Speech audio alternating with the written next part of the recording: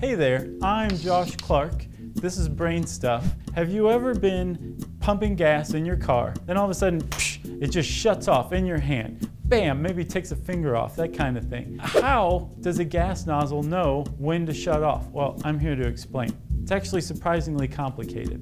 Have you ever heard of the Venturi effect? If you take a tube and you pinch it in the middle, then fluid, and remember fluid can be gas, can be liquid, doesn't just have to be water or something. After the pinch, after it goes through the pinch, it becomes compressed. And as its velocity speeds up, the pressure on the other side of the tube actually decreases.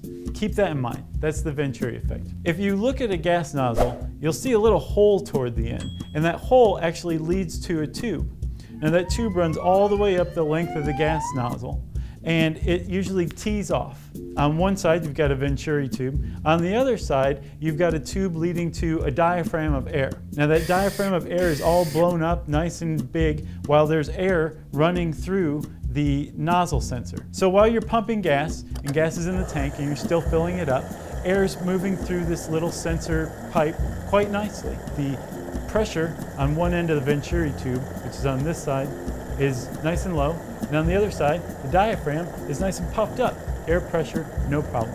But as the gas starts to rise, maybe it starts to foam or it starts to just simply fill up the tank, that sensor, that pipe, starts to suck up gas. And when the gas is sucked up, the density of gas is a lot, uh, lot heavier than the density of just air. The Venturi tube all of a sudden changes in pressure which creates suction on the other end of this pipe, which sucks the diaphragm, which collapses a little bit, triggering an automatic shutoff. Seriously, that's what's going on in your gas nozzle when you're pumping gas and it fills up. That's how it knows your tank is full. So uh, I guess maybe ruminate on this, chew on it, think about it for possibly the rest of your life. It is really complex, but pretty cool. It's not magic, I guess is what I'm trying to say. I'm sure you like this video. There are tons of other ones. If you have a question that you want us to answer, you can leave it in the comment section below on YouTube. Uh, like us, subscribe to us, just be all things brain stuff. It'll make you smarter.